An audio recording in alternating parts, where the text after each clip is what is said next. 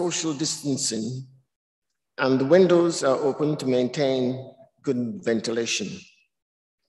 There are speakers throughout the room to help with increased background noise.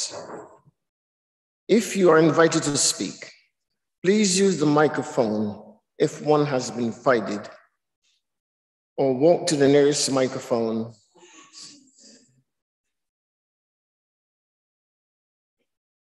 stand situated on the left, left hand, right hand side of the room. Please can I ask members and officers to introduce themselves when speaking, not to touch the microphone, but to stand close when talking into it. Be mindful of social distancing requirements during and after the meeting, and also to scan the locations QR codes for track and trace. I would like to ask that everyone turns their microphones to silent mode. We are not expecting a fire drill this evening, so if the alarm sounds, please remain calm and follow the instructions of the town hall staff. Please note, there is no opportunity for members of the press and public to speak or address elected members during the meeting. Any placards or signs being held should not cause a disruption to the meeting or outburst the views or obstruct the views of others. And please note, there is CCTV in operation at this location. Before moving to item one on the agenda, I move that item eight, changes to the council constitution paragraph five, new protocols, is deferred, deferred to a future meeting of the council to allow members more time to consider it. May I have a seconder to this proposal? Um, Councillor Khan, second. Is that agreed by council? Is that agreed? Thank you very much indeed. Moving to item one on your agenda, apologies of absence. I have received apologies for absence for this evening's meeting from Councillors Umla Gandagaran, Councillor Riaz Mirza, Tamina Rahman, Delphine Tahura, and Tony Wilson. Also, Aisha Chowdhury, Aisha Siddiqui, Patrick Murphy, Councillor Susan Masters, and Councillor Steve Brayshaw. I have also received apologies for absence on behalf of the Council's Chief Executive, Althea Loderick. And I'd like to welcome to the, the dais Jessica Crow, the Council's Corporate Director of People, Policy and Performance, who's with us tonight as Acting Chief Executive. Are there any other apologies? Chair, I have apologies. I couldn't attend in person. Thank you. Any more? Chair. Are there any members wishing to declare any disclosable pecuniary interests or personal or prejudicial interests they may have in any matter which is to be considered at this meeting? I take it that's none. Item three, minutes of the last meeting. I move as a correct record the minutes of the last ordinary meeting of the council held on the 19th of July 2021. Do I have a seconder to the minutes? Councillor Khan, thank you. Is that agreed? Thank you very much indeed.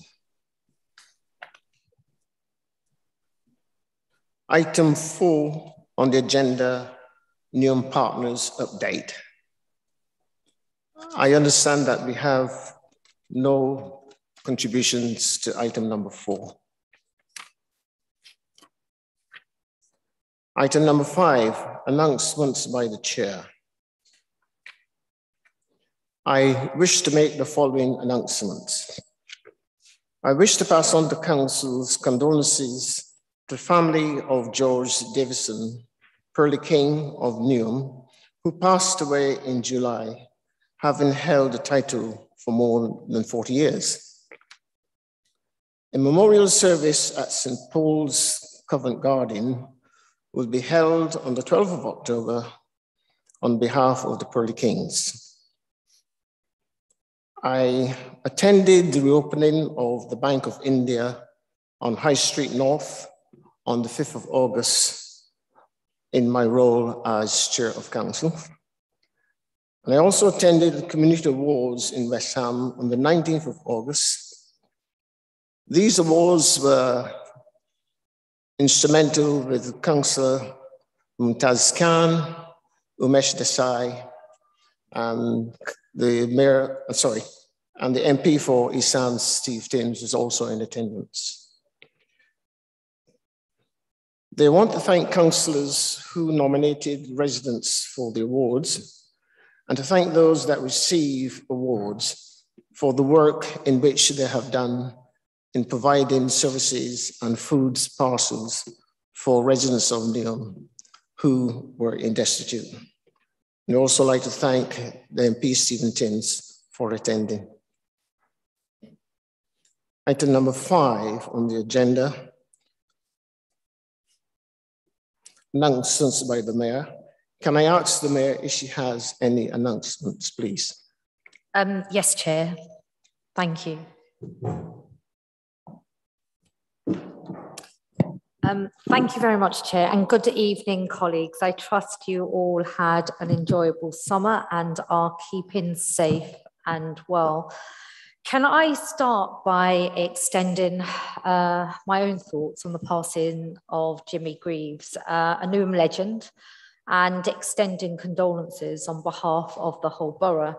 Proudly from Manor Park, his stunning achievements on the pitch will be remembered by millions we have truly lost a giant who will never be forgotten. On to council things. Can I firstly uh, state, uh, given that we're back together, albeit at a social distance and still needing to be mindful of the risks of COVID 19, uh, it would be useful to talk about some council things. Can I say very clearly that my job and my overriding priority is to champion the interests of the people of Newham, to listen and to address the issues of concerns to our residents. And I speak to Newham residents all the time, and I hear the issues of concern that we all share. And that is why a priority to clean up and improve our streets and our neighbourhoods is paramount. And I have absolute trust and confidence and Mayor, in the cabinet member Mayor. For Environment, Sustainable Transport and Highways, Councillor James Asser, Mayor, and his deputy, excuse me, Councillor Nilufer Jahan, in the stellar way in which they are progressing with that important agenda. Sorry, Chair. I appreciate that there's some noise, but I'm not distracted by it. But we want to close the windows, which might reduce some of the noise. Okay, just so yeah? that you know I'm not distracted by yeah, it. Yeah, okay. If I may, Chair, can I carry on? Yes, please do, yeah. Thank you very much. Mm. So I wanted to state very loudly and clearly, notwithstanding the noise that we can hear, the noise of a minority, that I have absolute confidence in the efforts and the excellence being pursued by Councillor James Asser and his deputy cabinet member, Nilufer Jahan, on all the actions that they are taking to ensuring that the air that our children breathe are clean, to ensuring that they're picking up on the issue of fly tipping. And as with all other priorities, we as an administration will continue to take action to make sure that we deal with those issues. The absolute focus for me as a mayor, since being elected back in 2018, is to stand with and put the people of Newham first something that hadn't been done previously on the issues that really affect people's day to day lives, from dealing with fly tipping to addressing our housing crisis, and in the way that we respond to the COVID pandemic. And you will hear me say more about the COVID 19 response in uh, my remarks later. And I want to absolutely make clear here and now that standing in the interests of the majority of Newham residents, of all Newham residents, is my job. And that is what I will always do to champion the interests of Newham residents. And that's what we did, as I mentioned, from the start of the pandemic last year. And I will be providing, as I mentioned, an update later on on the agenda in response to the Council's response to COVID 19. And we all know that the virus has not gone away. Uh, in my case, particularly last week, I was pinged and I had to isolate for a period until I was um, tested negative. And we need to always remain vigilant as cases continue to persist. So I urge everyone to please be safe and to be mindful of others around you. Moving on to some key issues coming up this week and in the coming month across the council, and as an indication of the delivery that is being pursued by myself and my administration. So I talked earlier on cleaner streets and fly tipping. I'm absolutely acutely aware of the need to do all that we can to improve our streets and our public spaces, and especially tackle the scourge of fly tipping. When I travel around the borough myself, I know that this is an issue. And so I want to send a clear message that we are taking action to address this and taking on those who do not respect our borough because they dump rubbish and litter. We are accelerating our work to reduce the rubbish on our streets. Our Better Streets initiatives rolled out across the borough over the summer is proving successful. These involve targeted, targeting areas where this problem persists. A range of steps working with Keep Britain Tidy and our residents include action to target the 12 worst fly tip hotspots, working with young people to help them gain a greater understanding, putting up crime scene investigation tape at problem sites, and chalk messaging, which highlights the financial cost involved of cleaning up this problem. These last two actions in particular have seen significant reductions, in some cases up to 75%. We've been out and about regularly, including at our Love Your Ward weekends, we are determined to take on those people who, by dumping rubbish in this way, show scant regard for both our borough and the vast majority of people who do not behave in this way.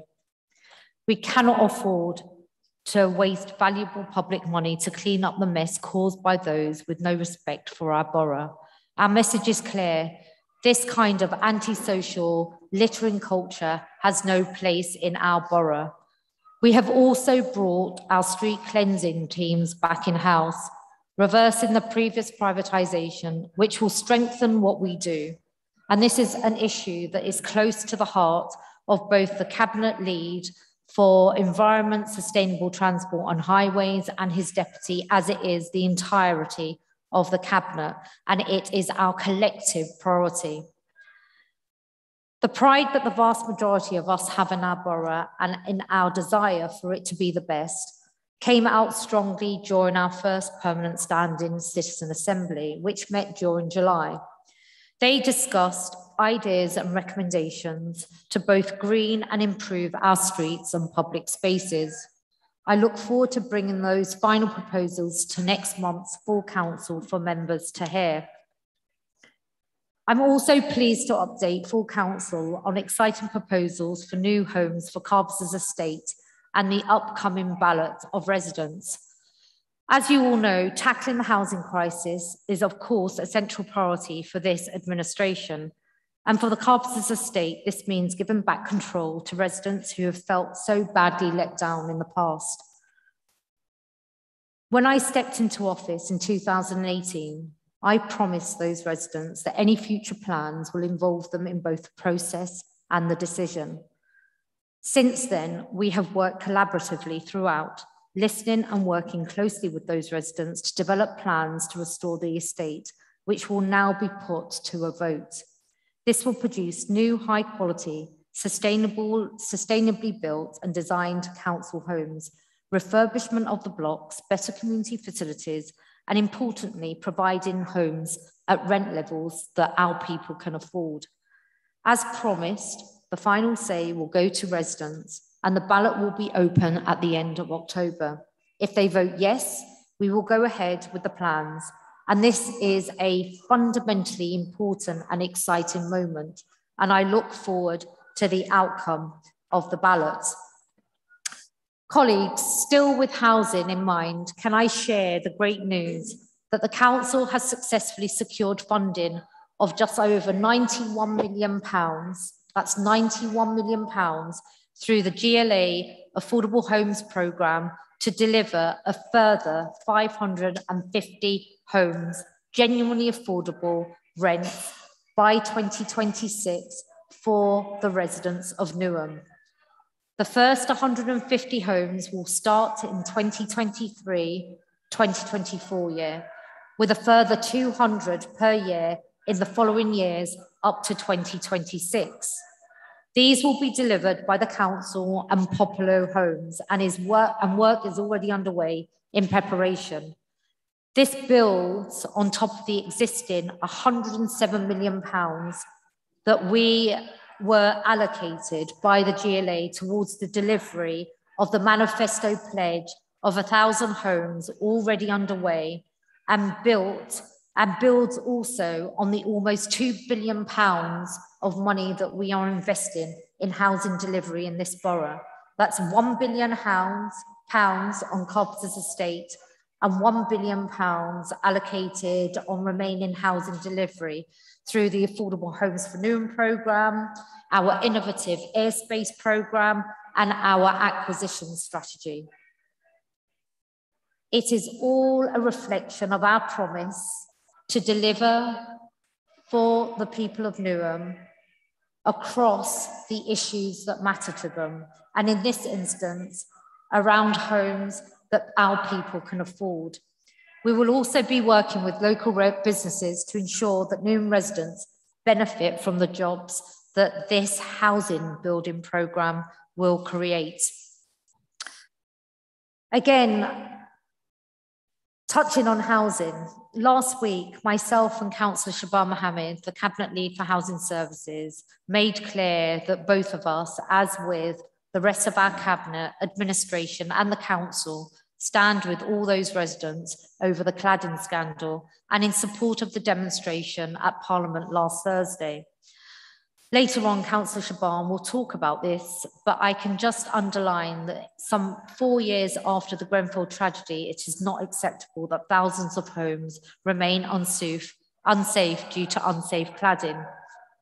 It is totally unacceptable that people face massive costs of fixing dangerous defects on the buildings that they live in because the government refuses to act to make the developers responsible pay. And whilst we are working hard to hold developers responsible, why is the government not doing the same?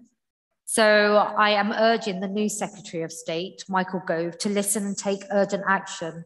And we will continue to stand and campaign with our residents on this issue. I'd also like to report on another exciting initiative being brought forward this week, Newham Sparks. It's a bold digital initiative and an anchor event for the prestigious London Tech Week that started today. Newham Sparks formally launches this Wednesday and it will take place at the Spectacular Factory project, a former Tate Lyle warehouse in the Royal Docks, which is, as many of you know, the burgeoning centre of the creative and digital sector in East London but here in Newham. Newham Sparks is our declaration to become a public sector data leader in local government by improving public service delivery through the use of data and technology, promoting responsible data use with trust and transparency and for the public good. Newham Sparks is also a symbolic of our intention to harness partnerships to facilitate a sustainable data ecosystem locally that will support innovation, business growth, and new jobs, including the development of new learning pathways, as well as training and opportunities to acquire new skills for our residents.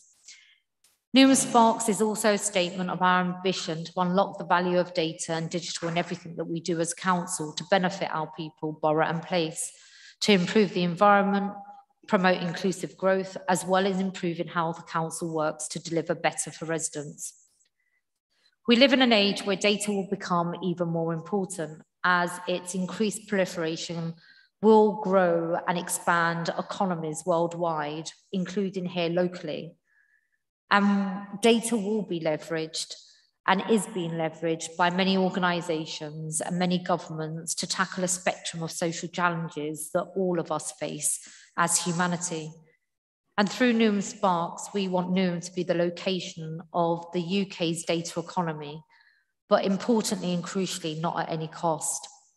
Whilst data may be the most valuable asset in the modern economy, and some have suggested it's a new oil, and through being its valuable asset as described, it will help enhance and accelerate growth through innovation. But we also recognize that data and the policy that pertains to the use of data its collection, issues of privacy, data ownership and competition and inclusion needs to change. And through Newham Sparks, our event that's taking place later this week, we want to, as a thought leader in local government, contribute to how public bodies enhance transparency, accountability, and trust in the use of data in the real world. And Newham Sparks is our start in this effort. So please do keep an eye out for information that will be available from the Council's website from this Wednesday. And just by way of giving colleagues a head up, as you know, the COP26 Climate Emergency Summit is some six weeks away. And I want to briefly report that in addition to building our action plan as we develop our roadmap to carbon zero by 2050, in the coming weeks, we'll be making a major announcement in relation to our contribution to COP26.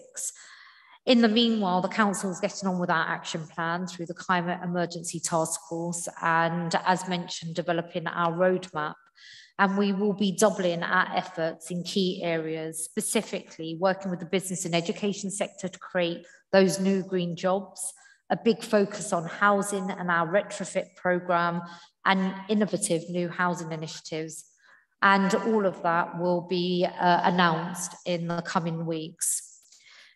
Finally, colleagues, I want to speak about our response to the plight of people fleeing Afghanistan. Like many of you, I have been horrified at the events unfolding there, hearing from residents concerned for family members some of those I was in touch with had themselves been asylum seekers through previous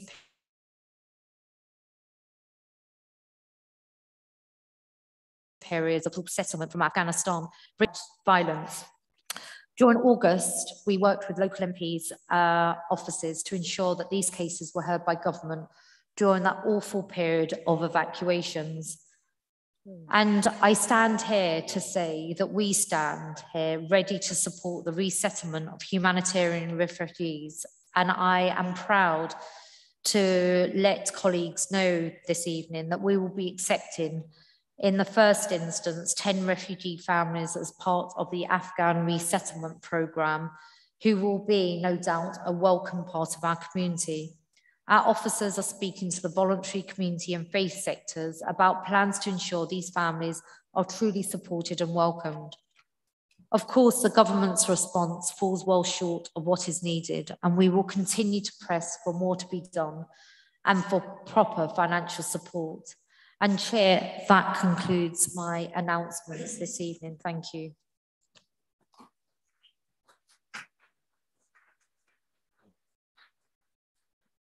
Um, thank you very much indeed, Mayor. Item seven on your agenda pack. Any announcements by the acting chief executive? Can I ask the acting chief executive if she has any announcements, please? Thank you, Chair. No announcements. Thank you. Item eight. Any updates by cabinet members, deputy cabinet members, or commissioners? Any member of the cabinet, deputy cabinet member, or commissioner who wishes to update council will be allowed to speak for up to three minutes. There shall be no debate or questions allowed. Does any member of the cabinet, deputy cabinet member, or commissioner wish to speak? Councillor Mohammed, thank you.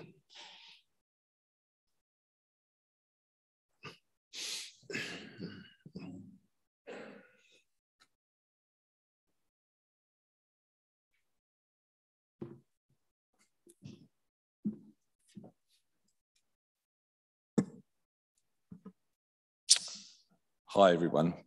For four, for four years, on, from the terrible, terrible tragedy at Brent, uh, Grenfell Tower, far too many people, far too many of our people still live in fear and anxiety about a fire in their homes. This is a national scandal on an unprecedented scale.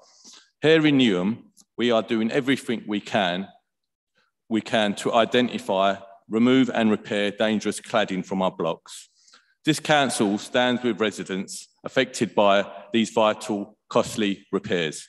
Since the full council motion was passed in March, we have held uh, task and, and scrutiny sessions and a number of resident engagement public sessions to speak directly to people affected by the cladding scandal and other measures like our unique licensing system have put us in a good position to work with landlords, freeholders and developers on removing cladding in privately owned tall blocks over 18 metres. I'm pleased to say that our progress has been good. We have now removed all ACM cladding from all council tall blocks. We are waiting for government, the government to agree to fund work on remaining tall blocks to remove other and unsafe cladding and improve a range of other fire safety measures. Yet I have known that from that this is not fast enough for the residents who still live in fear. Unfortunately, unfortunately, we do not hold all the levers to solving this problem, and the government failure to act is creating another layer of crisis on top of, a, of the initial scandal, one that is hurting residents, leaseholders, and councils financially. Our partners at the, at the End Our, Scand End Our uh, Cladding Scandal campaign have estimated that the safe removal of all dangerous cladding in England will cost 15 billion pounds, yet the government has so far pledged a little under 3 billion. On the one hand, individual leaseholders are facing tens and thousands of pounds in bills, and nearly one in four reports having thoughts about self-harm or suicide because of the strain. Many of our many are also having to foot the bills for waking watches, patrols, and going to bed fearing the worst that could happen in the middle of the night. On the one hand, the UK's top five developers have made 10 billion pounds in profit since Grenfell. All this to fix deadly defects that could could never existed in the first place. This is an absolute national scandal, and it is our. Uh, it, and as your lead member for housing, I want you to know that I will be holding the government to account. In this borough, this council is doing everything we can to hold developers to account. Why isn't the government doing the same? Newham Council promises to do four things. Stand with residents. Firstly, I will be writing to the Secretary of State to make sure that make sure he is aware of the difficulties we are facing and call upon him to provide new kinds of support, such as allowing us to overrule freeholders that are dodging responsibility to complete the necessarily, necessary work up front and, in, and the bill, build them afterwards. Secondly, the building safety funds needs to become more transparent accessible to those of us on the front line. We need better information about how many blocks need repairs, how many bids are in progress, and how many more money can, can be awarded. Thirdly, we need, we need the powers to fund and be able to deal with the knock-on crises and, and the inaction that it has caused, such as providing in adequate health, uh, mental health support for residents, addressing other interim measures like waking watches in the current climate of financial uncertainty. The council simply cannot absorb the costs that would hurt our most vulnerable residents by limiting what we can spend on other life-saving programs. First, finally, I want to ensure all our residents that, that I remain 100% committed to supporting the many campaign groups who are speaking who are speaking up for the victims affected by residents, like those at End Our Cladding Scandal. We stand by you.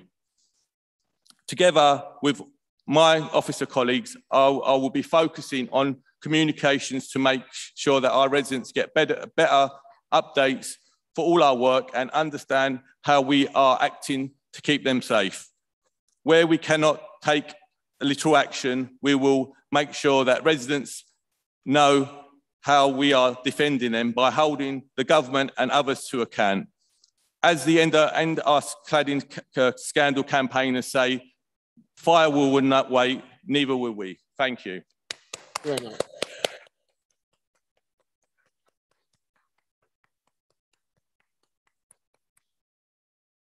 Are there any further updates?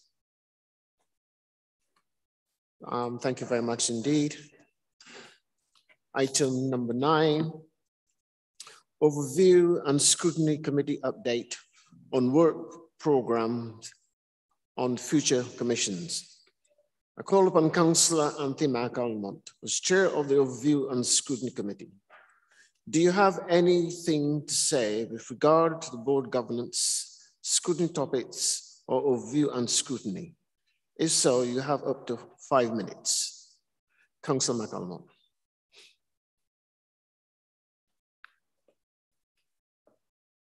Thank you, Chair. The Overview and Scrutiny work program has been adopted and work has already commenced. As you will see, there's a full set of overview and scrutiny meetings in the coming weeks.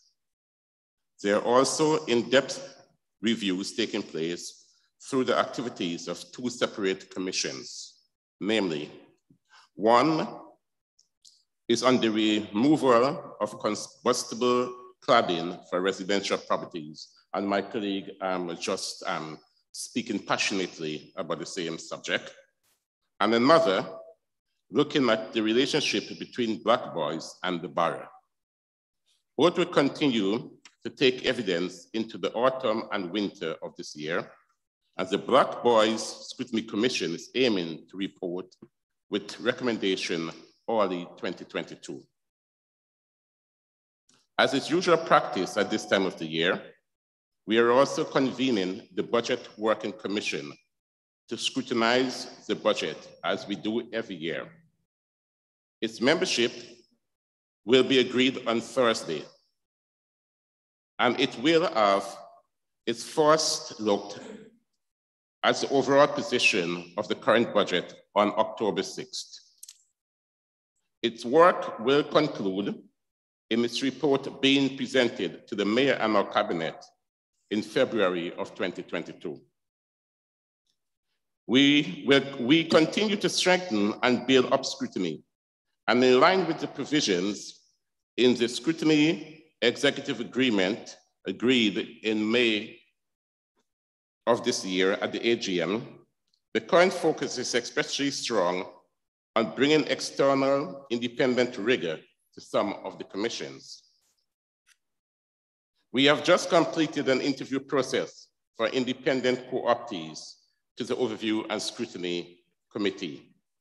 In addition, and having successfully piloted this approach last year, we have two independent co-optees joining the Budget Working Commission. One is from the Institute of Fiscal Studies, and the other has again come from the Chartered Institute of Public Finance and Accountancy. And I want to take this opportunity to thank them in particular for their ongoing support two years in a row. And finally, Chair, we have two independent co-optees joining the Black Boys Scrutiny Commission. So a total of six independent co-optees, certainly the force for scrutiny. And a big thank you to you all, colleagues, for your participation in the work of scrutiny, either through your role as scrutiny, um, your role on scrutiny commissions or as executive members for engaging with us. And we have certainly considered, and we have a carefully considered work, full work program to deliver before the next year's AGM. And I know I and my colleagues can continue to depend on your full support for the crucial function of scrutiny. Thank you, Chair. Thank you very much.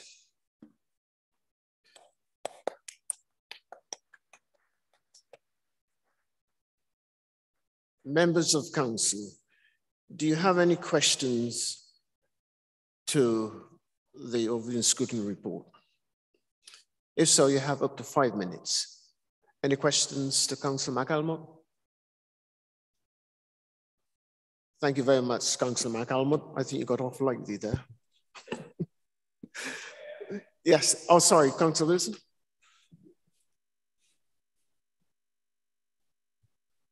Uh, behind you on the screen was Councillor Daniel Blaney indicating. I presume that we can take questions even though people are remote from this meeting. There was a question from Councillor Blaney um, to the chair of the Review and Scrutiny um, Committee. I think that question was, was replied to and circulated to all members of the council. So I think that as far as we can go on that one. Who has a hand Sorry, up? Chair, I want to come just, back because, okay, uh, you know, that reply was not in the public domain and the whole point of this council meeting is it's in the public domain. Whether, and Councillor Blaney, I think, is still indicating. So, uh, you know, I don't know, I, I, I, don't see the constitutional grounds on which we're refusing somebody who is may, maybe remote. It may be that we may not want the question to be asked, but I'd rather it was asked in public because it was given due notice. Okay, thank you. Uh, uh just to explain, since the um, removal, removal of the allowance for remote participation in meetings, only members in the room can formally participate in the meeting, which would extend to the asking of questions of um, the chair of overview and scrutiny in this situation. We've obviously made an allowance to allow people to contribute to debates in the past, but not anything further than that. I think the chair was trying to point out that this matter has, that the Councillor McAlmont has sought to address this point, um, but we can't really take it any further beyond that. Uh, we, we all appreciate the frustration of the kind of mishmash of rules. Okay. Point of order, Councillor Clark. I, I can't hear you. Could you use one of the microphones, please?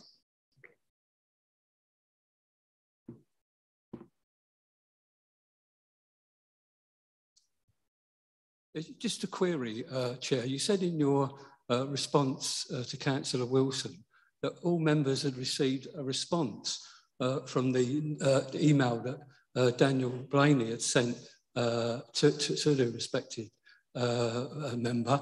I certainly haven't seen that, and the people I'm sitting with have not seen that response. So I wonder if that was an accurate report that you, you gave earlier on. Maybe you thought it was issued, but a number of us certainly have not seen that response. Thank you. Thank you. Possibly Councillor McColman can explain. Ask Councillor McColman. Yeah, could you reply please, Councillor McColman? Um, thank you once again, um, Chair. Um, Councillor Clark, I have sent a response to Councillor Blaney and I've sent it to all members of the council. And that would have been just before five o'clock or so.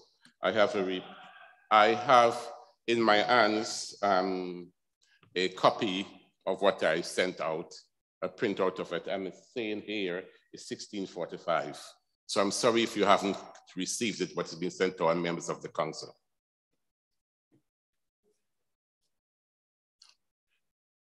I've sent a response to you. Councillor Blaney has um, submitted a question. It's not on the order paper, but he was kind enough to have served me advance notice of a question he intended to put had he been here.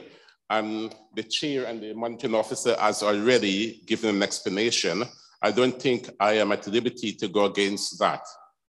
But I have been helpful in terms of I'm submitting my response to Councillor Blaney and I've shared it with colleagues. So you can read it. If you haven't seen it yet, um, I'm sure it's going to make good bedtime reading for you. Thank you. Um, Councillor Clark, through the chair, please. Thank you. Um, can I call on Councillor Pepiat, Reverend Pepiat, please? Just to uh, Councillor McAlmont, um, the, the question is raised about the Councillor Blaney quite rightly accesses the problem about this mixed mode that we're having uh, as council.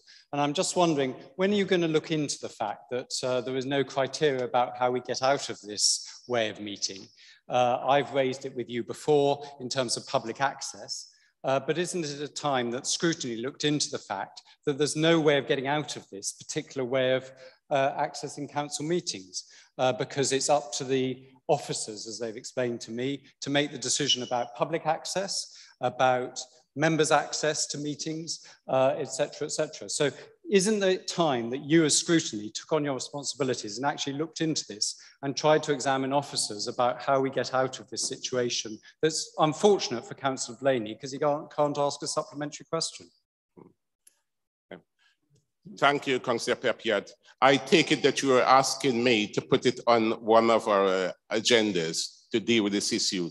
If that's the case, I will gladly um, put it to um, the chairs and put it on the agenda. Thank you for your suggestion. I think it is a suggestion to do that. Thank you. Any more questions? Well, thank you very much for that. Item number 10 on your agenda, um, deputations. There were no requests made to the Chief Executive for the staging of a deputation at this evening's meeting. Item 11.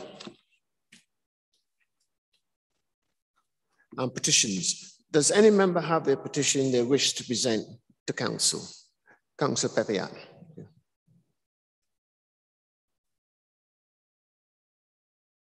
Thank you, uh, Chair. As I'm offering helpful suggestions, I'm going to offer another helpful suggestion in, a, in the form of a petition.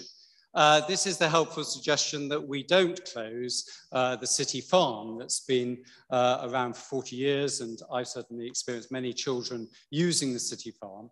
Uh, there is a petition for nearly 6,000 uh, people who have signed the petition. It's, it's a wonderful thing on the front with a, a children's drawing, which is great. It has chickens and it has goats in it. Um, the problem with the uh, consultation is that uh, Councillor Asser has just said there'll be an offer. That could be an, a budgerigar. Uh, we want a bit bigger than a budgerigar, and there is no specific about how you're going to get a, a city farm back in its uh, place. So there wasn't proper consultation, as we see it, on this matter. It was issued and only found out through a scrutiny commission at the end of July, and the uh, decision was made by Cabinet at the beginning of September. Most of the people who use City Farm are the children of the borough. They were on summer holidays at that time. Uh, the parents, some of which are here today, um, were concerned that they weren't consulted properly on this matter. And I hope that uh, we did lobby to try and get a further time for consultation so that we could actually get a proper offer into the official consultation that Councillor Asser has said that will go ahead. Uh, the other problem, of course, is the impact on SEND children, uh, and that doesn't seem to be part of things, or the exploration of other funding opportunities to actually in, make sure the city farm can continue. So I'm presenting this petition, a wonderful picture on the front done by the children of Newham to save City Farm. It's got nearly 6,000 signatures, and I present it to officers. Thank you very much. Thank you very much indeed.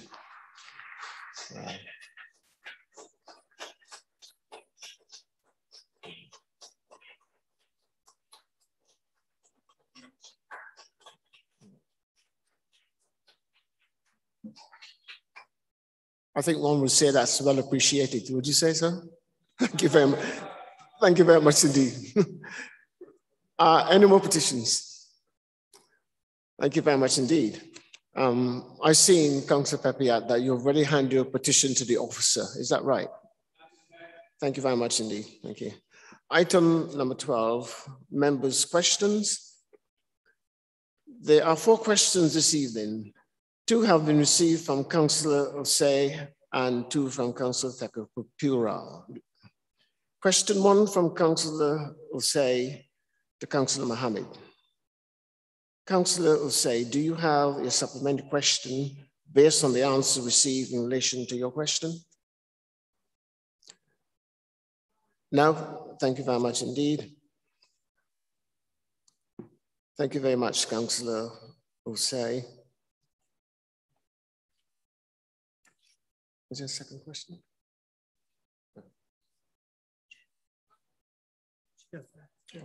Sorry, there's another bit of paper here. Just a minute.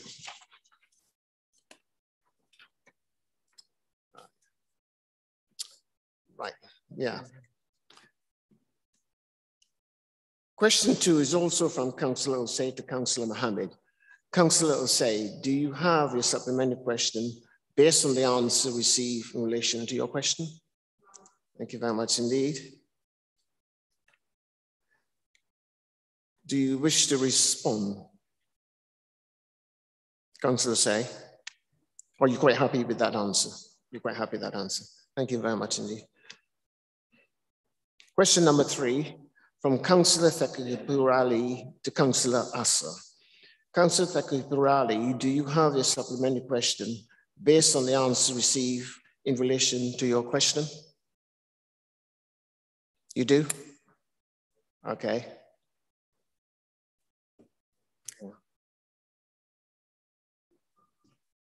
Thank you, Chair, for letting me to ask a supplementary question based on the answers given by our reputed cabinet member, Councillor Asher. Uh, thank you very much for Councillor uh, James Asser. He is one of the very hardworking cabinet member. I appreciate his hard work, but though I'm not happy with the answers he was given here. So because he was, uh, first of all, I want to correct him, uh, the, the, the wheelie bins issued, issued instead of orange bags. It was not last year, at least uh, in my knowledge, it's around more than uh, six, seven years ago, because at my home, I got the wheelie bin and around six, seven years ago, and I don't understand why he's not updated about that knowledge. The second thing is about his uh, engagement with the public uh, knowledge about the how to educate uh, community and public uh, regarding the recycle.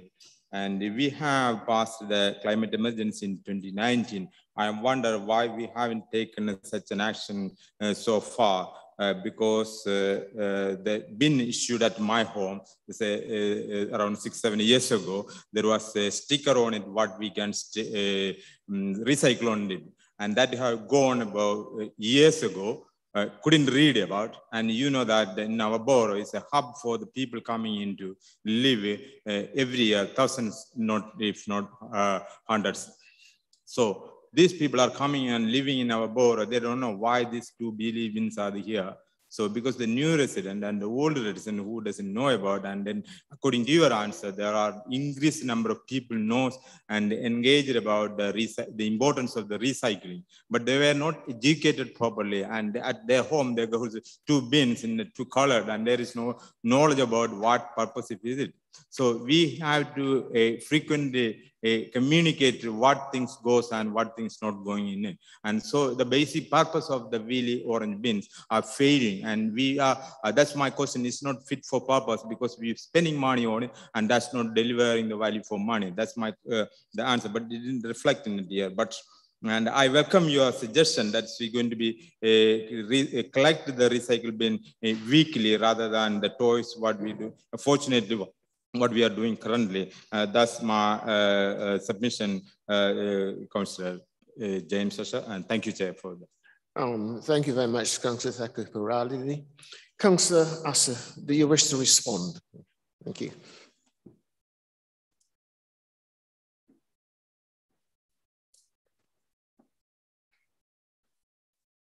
Oh, there we are. Um, so thank you, Councillor. I think just my apologies to start with, because I think there was some misunderstanding of the original intention of your question about the nature of uh, the recycling bins, which is why we put in there that uh, we'd done a pilot looking at, as part of the pilot about extension of recycling, uh, we'd looked at whether bags or bins were more effective because your, your question around uh, value for money is what I, I, think we understood. I get the point you're now making, which is in relation to the age of the bins and the necessary understanding of what can go in them.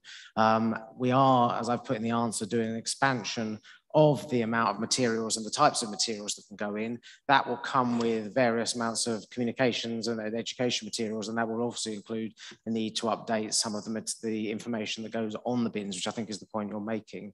Um, where bins are uh, broken or need replacing, residents can, we do provide those to residents. And if there are particular problems in his ward, I'm happy to pick those up with him. So uh, we're making further announcements on recycling uh, next month in, in council, which I think will address a number of the questions he has raised, but we are picking this up. We are expanding the range of stuff we're doing. There are some issue, other issues that relate to national problems in terms of um, waste collection, which other boroughs are going through, but we are doing an expansion and that will include some of the issues he's raised around uh, information. So I, I'm happy to pick that up with him separately, but I, he will, I think he'll be pleased with what we'll be bringing forward in the next few weeks and couple of months. Thank you very much. Question number four, again from Councillor Tessa Guparali.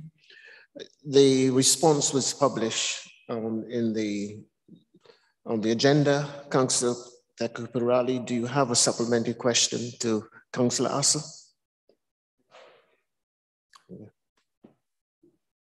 Thank you, Chair, for letting me to ask a supplementary question based on the answers given by the Council James Asher.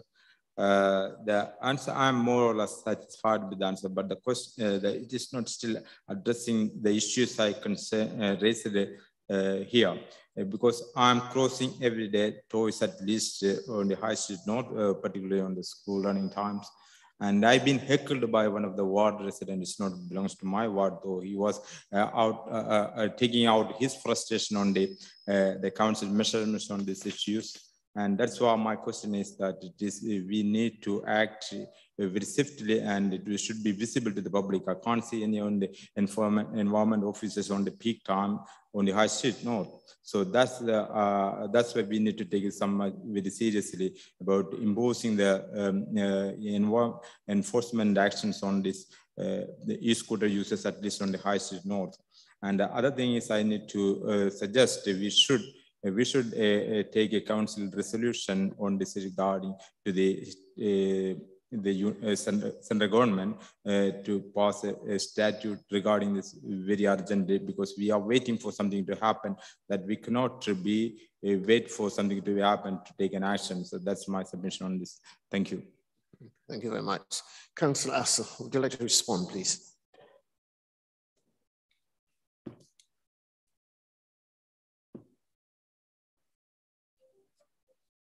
Yeah, I mean, uh, to, oh, are we on?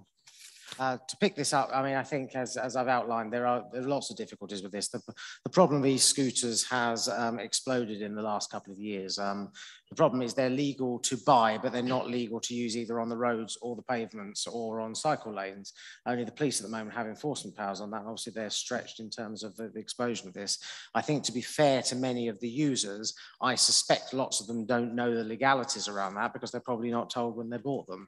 There is a um, trial going on with the Department of Transport and Transport for London around e-scooter hire, which we've not opted in. We're looking very carefully at the options on the boroughs that have uh, opted into that. We're also talking to boroughs who've not opted in. We're looking at some policy measures. Ultimately, the government are going to have to make a decision because this isn't just a London problem.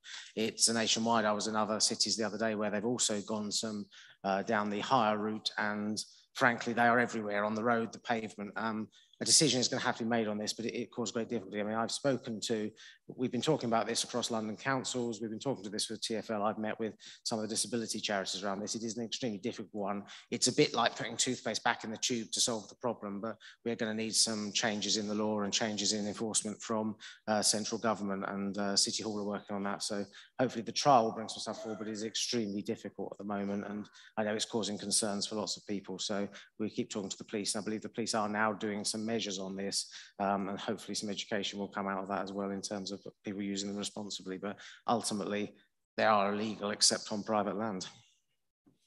Thank you very much, Councillor. Moving to item 13 on the agenda, questions by the public. We have received 16 questions from members of the public. The questions submitted and the answers are those which appear in tonight which appears in tonight's order paper. The answers will be emailed to the questionnaires and will appear in the minutes of this meeting.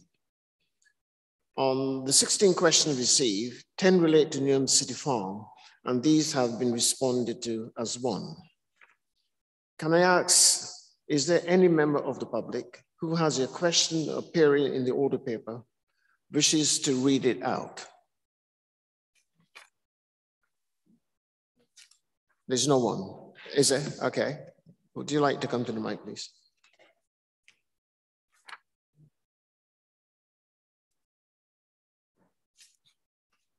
Um, I'm Alison McLucas. I'm a resident of Beckton and a te uh, Newham teacher. And my questions um, are, just find my questions. Has the council conducted an impact assessment on the closure of Newham City Farm for people with SEND on mental health and well-being and other sections of the community, including schools? Did schools even know um, before making a proposal to close um, Newham City Farm? And number 13, has council, has council fully investigated all funding possibilities to maintain a community farm in Newham? It says it has sought sponsorship. Um, where is the evidence of that, please? Thank you. Thank you very much. Can I ask, is there any member of the public who has a question appearing in the order paper and wishes to read it out? Um, there's no one here for that. Okay. Okay. Uh, Councillor Astle, do you have anything further to add to the question?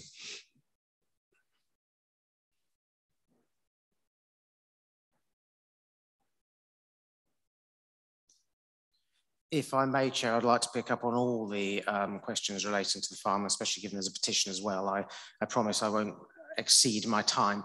Um, basically, I think what I would like to obviously do, we've gone through, um, responded to them as one. I would also refer people to the, the cabinet paper and to the, the, the online debate which we had last week. I have met with um, the uh, campaigners, some of whom are here today, and we had a deputation from them at the cabinet meeting. I'd like to repeat some of what I said at the cabinet meeting, which was frankly to apologise for the fact we've reached this point. And I am sorry about that. I am very sorry. And I said sorry at the cabinet meeting, and I repeat that now. This is not a situation we should have been found ourselves in. And I am extremely sorry we've got to this point. It was it's been an extremely difficult period and it's not a decision I wanted to make. The process we started with this was to look to improve the farm. The difficulties, some of which have been outlined publicly, some of which can't, are things we just simply couldn't ignore. We've been through a process with this, but what we have now promised um, and we will continue to meet with the campaigners who, who are here and others. And I've started to receive kind of uh, contacts from others is that we will meet, continue to meet with people and community to discuss the way forward. There is a master plan going forward, which will be properly consulted on, which will go out widely. We've made a promise to bring that back in February to cabinet, but there will be stuff appearing before Christmas and we've started that project plan. We will work with the groups that have approached us. We've got other people already contacting us with ideas and we're gonna make this work by bringing the community into this and bring a wider uh, range of, of things in it was mentioned earlier around the animal officer offer. That is the, the, the, wording that came out of the scrutiny recommendation. What we want to do is get people to bring in ideas of what they would like to see. That could be a new farm. That could be bringing in um, external charities and welfare groups and things like equestrian centres who may be able to bring things in. It will certainly be more than a budgerigar. Um, we wouldn't be that ridiculous. Um, but what we will certainly be doing is consulting widely and finding what else. And SEND will be an important part of that. And uh, Councillor Lee Park Parkways department will be involved in that too, and she made that clear at um, at at Cabinet. It's a huge part of what we can do, and that area will provide a huge opportunity to improve our SEND provision for children and outdoor play. Um, and I'm very aware of the situation, so I understand the difficulties. I understand why people are upset. Um, I was particularly unhappy when we got to this point it's been a long time coming, unfortunately, and we hadn't we hadn't been on top of it, and we should have been. It shouldn't have got to this point, and lessons will be learned. But I will continue to engage uh, with the campaigners and the people who've contacted me, and, and have further conversations, and we the, we will make something decent out of this, I promise. And and I very much heard. And just to finish, I've seen the petition. I think it's very well worded. I think it's helpfully worded, and I think we can pick up on that. So. Uh, I stand here as a guarantee that this will continue to be public open space and we will work with them to develop what animal provision we can along with the SEND provision and other play facilities. Thank you very much indeed, Councillor Lassen. Right, moving to item 14, species from members. There are no species from members this evening. Thank you. So moving on to the next item, which is item 15. Uh, motions, again, no motions received for this evening. Item number 16, COVID pandemic update. Can I ask Mayor Fiaz to move the recommendations in report? Please note you have up to five minutes. Um, thank you very much, Chair. Um, colleagues, um, I'm really pleased to introduce this report. And before I do, I wanted to convey my heartfelt thanks, appreciation for all members of Newham Council staff uh, across all tiers and levels, as well as for the resident community who mobilised in their volunteering efforts to help in the collective effort as we responded to the seismic public health emergency that we were faced with last March none of us in our lifetimes have been exposed or experienced something of such great magnitude, and it is still with us. This report is a report that sets out the Council's COVID 19 response to the pandemic.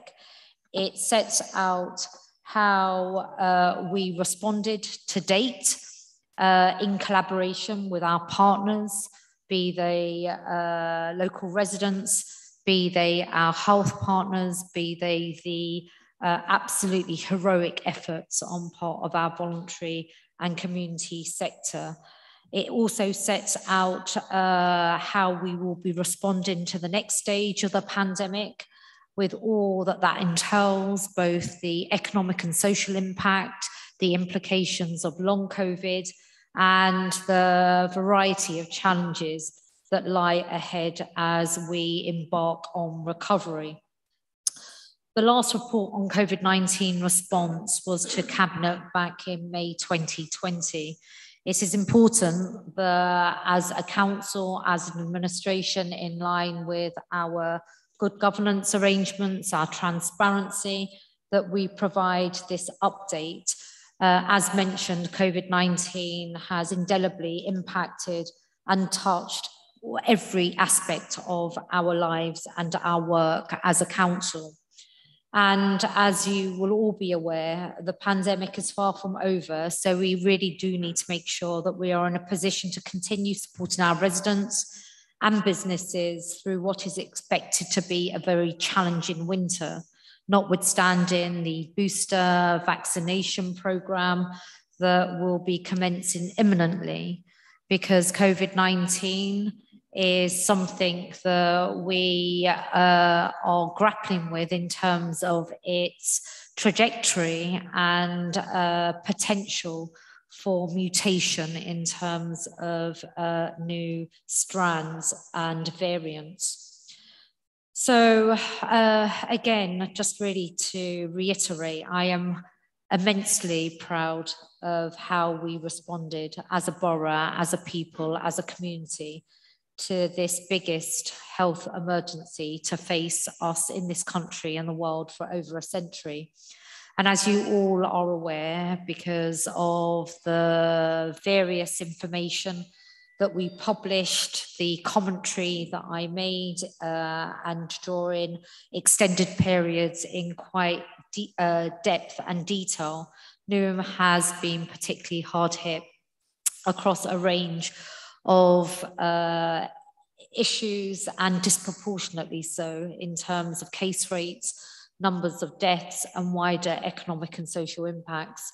The report outlines the campaigning priorities that we will focus on to tackle long-standing disadvantage inequalities exposed by COVID-19, which we had commenced with from May 2018 under the auspices of our community wealth building agenda and also our inclusive economy strategies. If we do not deal with the systemic issues of poverty and inequality, be that race inequality, gender inequality, and all the other inequalities that impact some of our most marginalized communities living here, we will be redundant as a political class in this country, and we will just continue to accelerate levels of uh, mistrust between uh, politics and the people. And uh, as we tackle these uh, long-standing issues of disadvantage and inequality through our recovery mission, as iterated uh, through the Towards a Better Newham Recovery strategy, we will be able to uh, accelerate on our housing delivery because having a home that is secure, uh, that is well designed, that is sustainable, that isn't uh, fraught with issues of condensation is as much a health and poverty issue as it is having a roof over your head issue. As we continue promoting employment rights and fair play, that is much of a social justice and economic justice issue against the backdrop of a borough where pre-COVID we had up to 36 thousand of our residents not even being paid the uh, national minimum wage legally required, let alone the London living wage. And we must always be vigilant as to the um, intent on part of some abusive employers to um, denigrate employment rights and fair play. And the COVID 19 campaigning priorities going forward are all about ensuring that we meet our recovery missions, particularly as it pertains to jobs for our people. We had the highest number of residents on furlough. Furlough is going to be ending. We have to brace ourselves for, with an increase in unemployment, notwithstanding what the national figures have recently stated, and that may well be a COVID recovery bounce, but we've always got to be prepared for the mid and long term. And what that means for us as a borough is transitioning in a just way uh, to the green economy of the future that will create those high skilled, high wage jobs for our people in the new economy. In the report, and I'll be quickly ending, Chair, apologies, um, we will be doing this as highlighted in the report through the Towards a Better Newham Recovery Strategy and Action Plan. But in addition, what's really crucial uh, in this report is the importance of the feedback and the learning that we will be deriving from a 360 degree review uh, of the Council's response, because it is important that we build on what has gone well, but also learn lessons from what we could improve on. I must add, colleagues, that there have been members of council that have highlighted the substantial impact that the pandemic has had on accelerating our introduction of green and active transport measures in the borough. Uh, this is not included in the published report, but I am hoping um, that in the coming weeks, uh, and certainly at next month's council, we can provide an additional report to set that out. Uh, but I really wanted to note this uh, matter or that area uh, this evening, in particular, the introduction of low traffic neighbourhoods and other traffic calming measures will continue to bring benefits for our residents beyond the pandemic. As I mentioned, we are doing this to ensure that the young people that we love and that we hold dear to our hearts and are precious to us and are reflective of our future have clean air that they can breathe. We are a borough where we have the highest number of hospital admissions of young children around and under the age of 12, 4,500 each year. That is the reason why we are introducing these measures, and it is to be welcomed that COVID 19 enabled us to accelerate on reducing emissions, making our roads safer, improving the ability of our residents to be able to walk, improving air quality, and encouraging more active transport methods like cycling and walking. The report also covers the impact of COVID-19 on children and adolescent mental health services, youth empowerment and workforce wellbeing, and officers will be providing further details and figures to members on those topics. So I commend this report and related appendices to Cabinet for noting. Members will also recall that scrutiny colleagues presented their report and findings from the work that they did to scrutinise the Council's response to the COVID-19 pandemic at the Cabinet meeting in July. This report now presents the Executive's response to those recommendations and builds on the detailed update on the Council's overall response to the pandemic that we have discussed elsewhere on the agenda.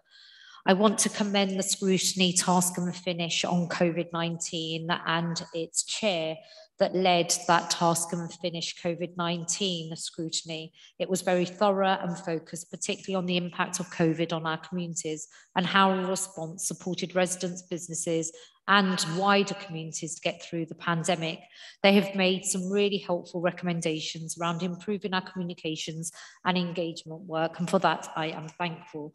And our, it is always important to improve our communications and our engagement work in uh, a whole gamut and spectrum of issues from providing support to parents, schools and families and focusing our attention and our work on the most vulnerable of our residents, as well as understanding the impact of changes to government schemes such as furlough.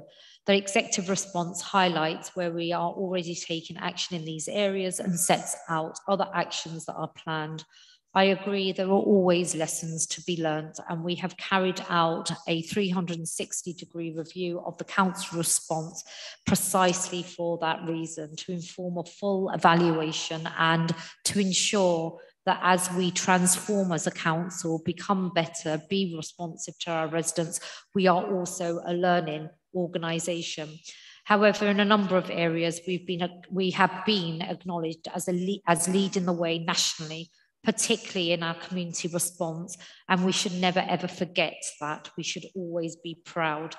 As um, the lead member for the Council's COVID 19 response in the context of the emergency situation that we found ourselves in, my corresponding lead officer is Althea Loderick as Chief Executive. The lead director who has coordinated the response is Jessica Crow, and Jessica is also here this evening to answer any questions. Thank you, Chair and colleagues. Thank you very much, Mayor. Um, Councillor Ali to second. Okay. Um, do you want to speak or reserve your right to speak? Okay.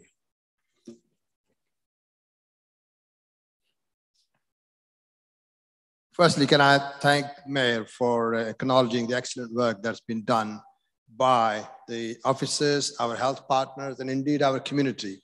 And I think as Mayor said, uh, the, the role of our community voluntary sector, faith sector has been tremendously important in tackling the big challenges we faced. Every challenge brings an opportunity, and I think this is a prime example. our network of 400 plus community health champion, an initiative this council brought into being, was copied by the Prime Minister and indeed asked other local authorities to, to actually implement that with the funding when we didn't get that. Secondly, our isolation support to the people who were affected by this deadly pandemic is also a, an initiative of our own. But without the role of our community, our voluntary sector, faith sector, and indeed our partners, this has been, would have been a very, very difficult challenge. We have suffered disproportionately high in terms of numbers, particularly in the first phase, but we managed the situation through multifaceted approach, which everybody contributed. And I think you, as members, have played a great leadership role in, in supporting our communities, in our diverse communities, and supporting the challenges that we had faced collectively. But the challenge is still here. COVID is here to stay. Its long-term impact is going to be here for many, many years, as you may read, may have read in the report. But it is our job to make sure that we encourage as many people as possible to go for vaccination if they haven't had one, and if they qualify for the booster, do that as well. Because these issues faced by COVID, long COVID is yet to be established in terms of its, its wider impact. But as Mayor said, the economic impact, the poverty, the, the social aspects, the mental health, there's so many aspects which have been brought onto us during this period. But on the positive side, can you imagine us being in this kind of meeting, you know, two years ago? The, the intervention of IT, the way things have moved on, has positively helped us to do things better. 30 but seconds, Council. I shall be finishing very shortly, Chair. I think I would like to pay tribute to, to the scrutiny task and finish group, particularly Councillor Daniel Ipoke and the members of the scrutiny panel there, who have done extremely hard work to bring back recommendations, which we have kind have agreed and supported. And I thank you all, member, and I hope that we can all continue to play our role in our community to make sure that we can safeguard our community completely as much as we can. Thank you, Jane. And I second this with those words. Thank you very much indeed. We now move to the debate. Does any member wish to speak? I see Councillor Wilson is waving his hand. Councillor Wilson.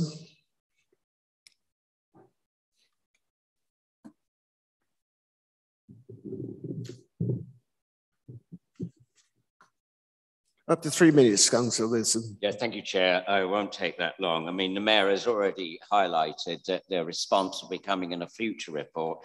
Just to um, uh, underline her and Councillor Ali's comments, obviously in the youngest borough in the UK in terms of our demographic, my concern was uh, in another place was that we do get um, some more data on how we're working in partnership with the East London Foundation Health Trust mental health support teams, because as both Councillor Ali and the Mayor have indicated, the longer term effects on our young people need to be monitored. We have obviously a well-being power, but also to work with our health partners. And also I did mention in another place about uh, after the lifting of restrictions, the number of 18 under 18s are able to benefit from in-person um, contact in terms of the youth empowerment service. And I think both of those are really good initiatives. And my final comment, Chair, you'll be pleased to know I'm being very brief as usual, is that uh, we do need to look at all of our working practices and workforce well-being because we have a duty of care, all of us, not just as corporate parents to the young people, but all the young people and particularly our hard-working staff to work out, I think paragraph 615 there's a continuing need to respond uh, agilely to service pressures and redeploy staff as required. And I pay tribute, as along with my other colleagues, to the hardworking staff of our borough, but also the councils and voluntary sector that have already been mentioned. But thanks for the opportunity to just put that in. Thank you. Thank you very much, Councillor. Any other member wanting to speak? Take that as a no then, huh? Mayor Fiaz, would you like to respond, please? Um, Sorry, Councillor Blaney wants to speak. Oh, just one minute, uh, please. Um, Councillor Blaney? On video? Councillor Blaney, would you like to speak?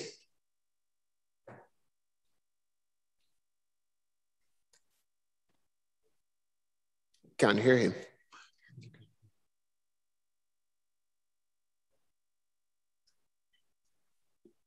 Councillor Blaney, could you hear us?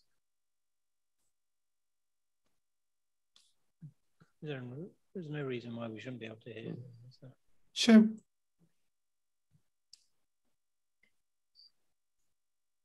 Adrian, there's no reason we shouldn't. Councillor Blaney, could you wave your hand if you can hear us, please? Oh, you can hear us. Right, thank you. Um, is there any reason why we can't hear Councillor Blaney?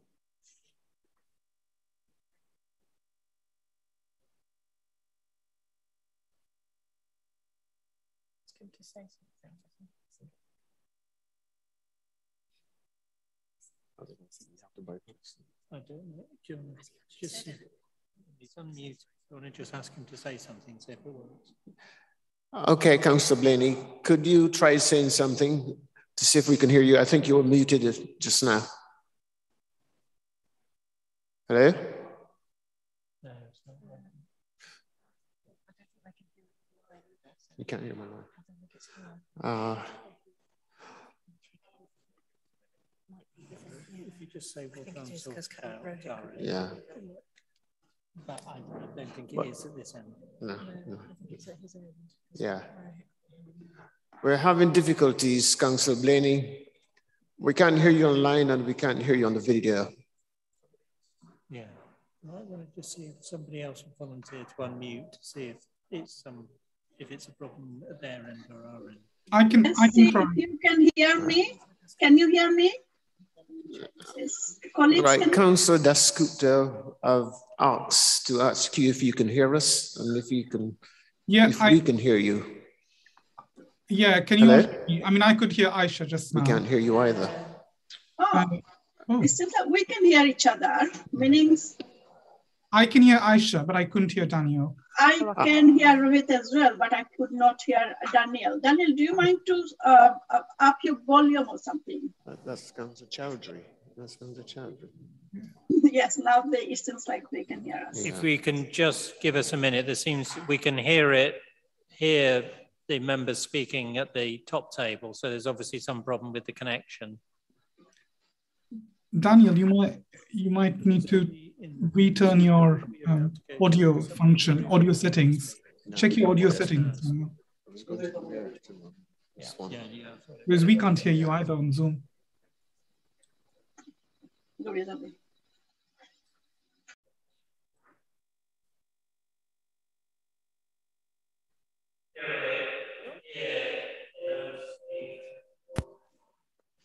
No. Speaker microphone look good. Yeah, yeah, I can I can hear you. We can hear you now, Daniel. Okay. I haven't done anything apart from do a check and it's fine. Briefly heard it. I tried them all, tried it this morning this afternoon. It worked.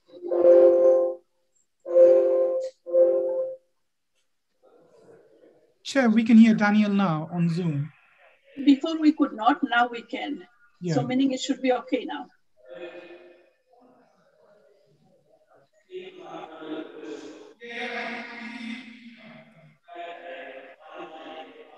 Coming a bit late, I think. It's a bit loud.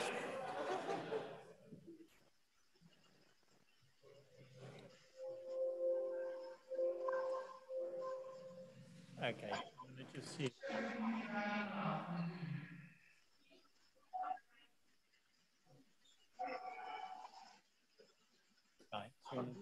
Right. Just ask only Councillor Blaney. Uh, Councillor Blaney, can you hear us now? Oh, I could always hear you.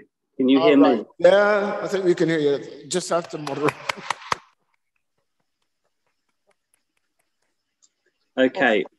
Awfully sorry about that. Can you put your question, please?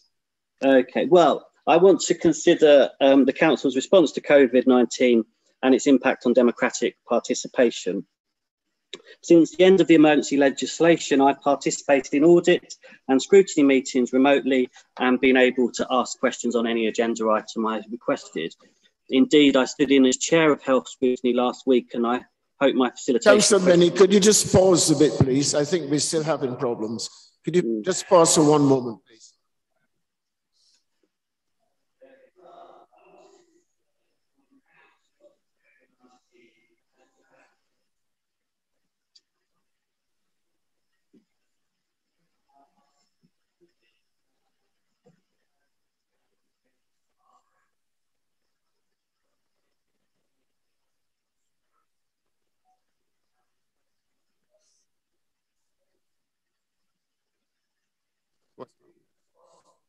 Some kind of loop.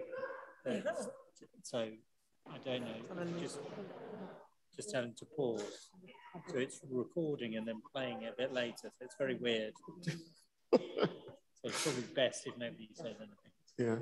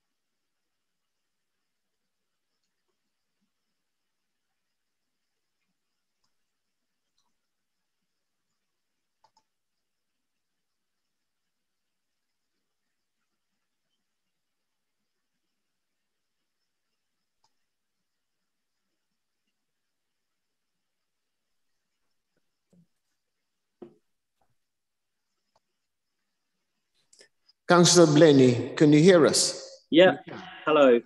Carry on then. Okay, so um, as I was saying, last week um, I chaired a health scrutiny meeting with the hybrid model, and I hope my facilitation of questions from members joining remotely was lawful. I don't see why not. Newham's also had a hybrid call-in procedure during the pandemic. That was in August. Remote members asked valuable questions, uh, but much has been done by the executive during this period of the pandemic, and more questions uh, need to be asked about them in public. Uh, when was the decision made to remove a charity from Stratford Circus, for example? I think it's something to do with a recording, isn't it? Yeah. Why at the call-in was it said to be March 2020 when there's no formal decision in the relevant cabinet papers? Why was scrutiny so tightly managed to prevent meaningful exploration of, of alternatives to the Cabinet decision on procurement this summer? Why are these questions not allowed in public today? Why, after months of success, has the hybrid model had its practice changed for this meeting, appearing to hush up concern regarding Stratford Circus? Um, I hope in future we have some clarity and uh, correct involvement of um, all members of council to participate safely in our democratic processes. Thank you.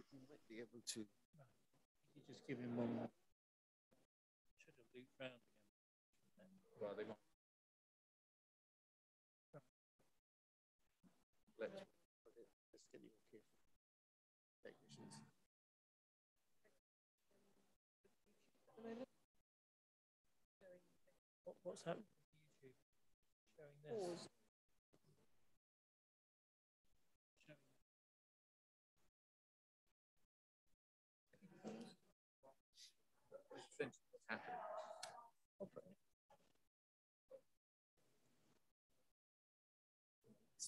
For the YouTube watchers that we're just having some technical difficulties. We can do that, yeah.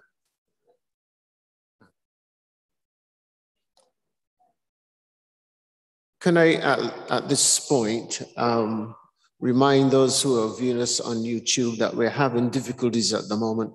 So if they can bear with us, we'll try to see if we can sort out the problems. So we do apologize for that. Councillor Khan.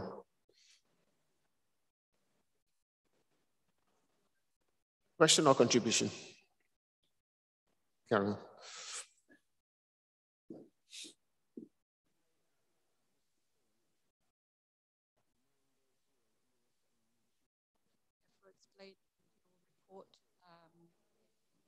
Microphone at the front, please.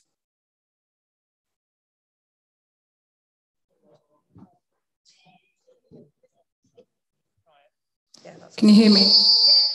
Mm. Yes. Um, I, I, have a quick question, uh, Mayor. the rate of uh, domestic abuse cases has gone up during this pandemic uh, period. Um, I'm, Come closer, closer to the mic, closer to the mic. I'm, I'm worried it's going to scream. Um, the rates of domestic abuse cases has gone up during the pandemic period. Um, i just want to make sure that it's always on the agenda uh, of this council. Uh, if Mayor could um, just elaborate on that. I'm not sure if you've heard me. Thank you. Could we go back to Councillor Blaney? Hello, can you hear me again? Councillor Blaney, can you hear us? Yeah.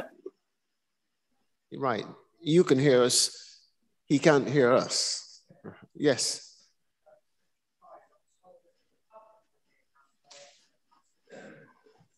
Mm. it'll be on the YouTube recording, actually. Yes. I think we better move on. Better move on. Okay, just apologise to yeah. the public. Just say we're not able to resolve it. Yeah, um, regretfully, we can't hear you, Councillor Blaney. So I think um, in the interest of proceeding, I think we have to bypass your contribution at this time and go back to the meeting live. So thank you very much, and we do apologize for the difficulty we've been having. Thank you very much. Any more contributions from the floor?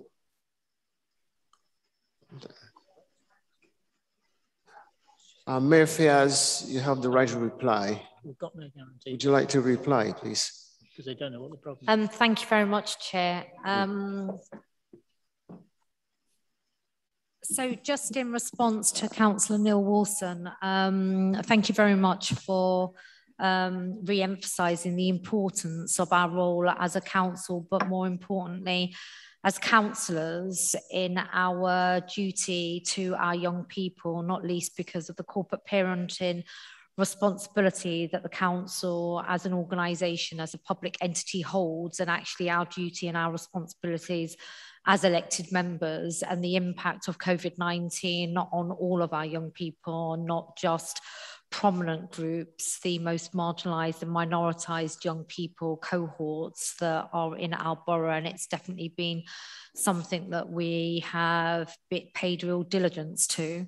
Uh, in response to Councillor Mumtaz's rightful uh, drawing attention to the horror and the unacceptable behaviour uh, towards women and girls through its manifestation uh, of violence against women and girls, which even pre-pandemic reached crisis proportions. The uh, oversight that the council has um, uh, undertaken in that area has also been uh, characteristic of the diligence that you would expect and notwithstanding that, we are undertaking a huge amount of work to ensure that our domestic violence, violence against women and girls provision in the council is second to none. And we have undertaken phases of revision because we know that in uh, the context of Newham, with its spectrum of diversity, uh, domestic violence, violence against women, and girls takes many forms and that needs to be confronted in appropriate and effective ways that also take into account religious and cultural dynamics at play as well as the intersectionality of race as well as gender. And that will be something that we will advance and go forward with. And then if uh, if I may, albeit I wasn't able to hear Councillor Blaney in his contributions to this paper, I did catch uh, matters pertaining to the, the democratic deficit. Uh, and I look forward to receiving his comments in writing. And it's regretful that we've not been able to hear in this room his contributions, which uh, to reassure him will be valued and across all three contributions raised through the questions that members have posed, I will make sure that at next month's meeting, an additional report comes forward to cover off issues as they pertain to violence against women and girls and domestic violence and the nature and feature of that during COVID 19 and what we will be doing as part of our recovery phase. Um, uh, building on what we're doing in any case as a local authority, some additional assurance, Councillor Winston, in terms of the work that we've undertaken, uh, pertaining to our looked after children and how that fits as part of that wider long-term approach for all of our young people, just but just to also reassure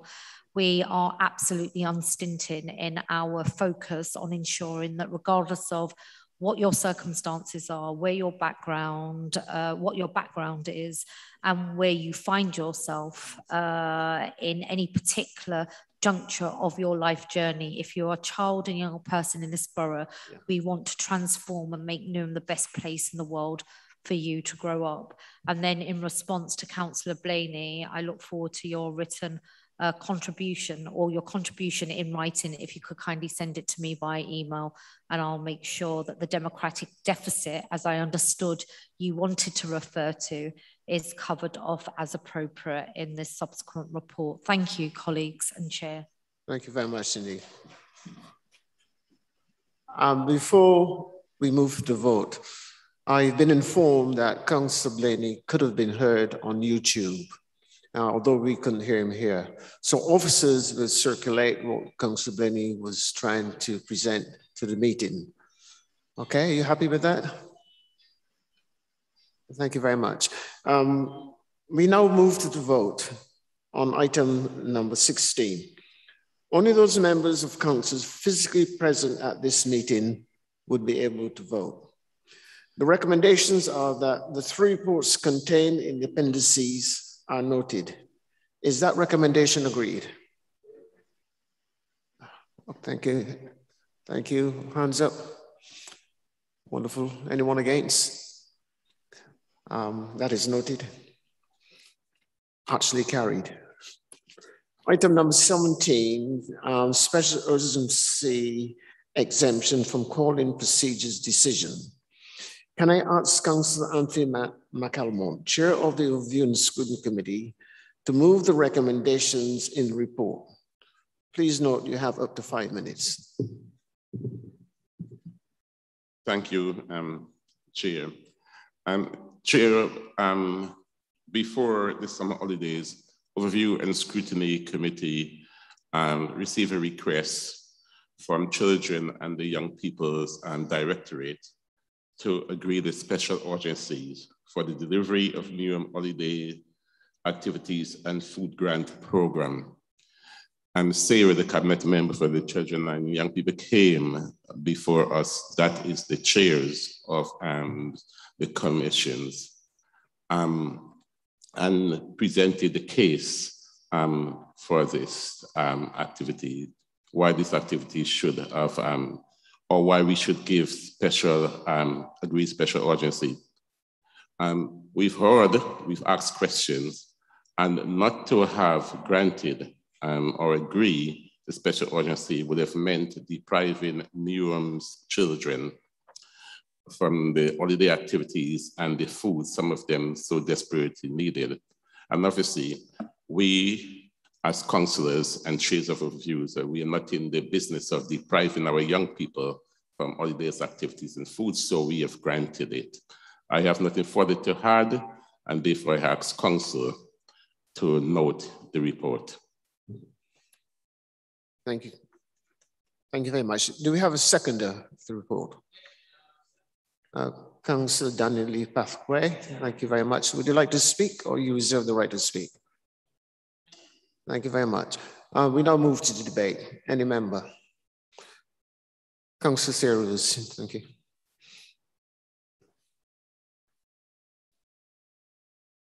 Thank you, Chair. Um, far be it me from, from me to correct Councillor Tony McAlmont but actually it was um, wasn't the responsibility of children and young people services. It was actually the responsibility of Brighter Futures, but, mm, and we made that request together. Thank you. Any other member?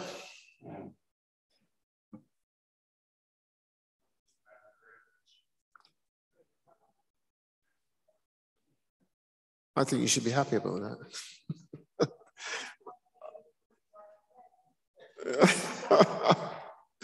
right, any other member wish to speak? Councillor McAlmont, do you have the right to reply if you so wish?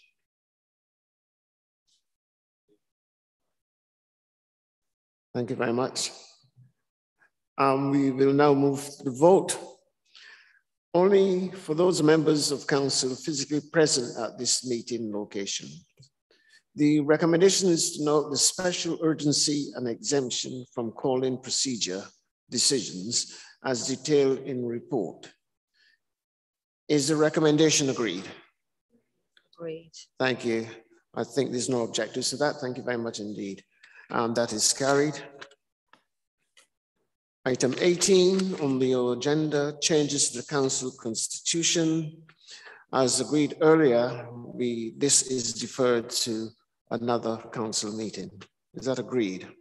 Thank you very much. Item 19, appointments. Are there any appointments to be made by the mayor who she wishes to announce today? Um, no, thank you, Chair. Thank you very much indeed. Are there any appointments from the Chief Whip? Thank you very much indeed.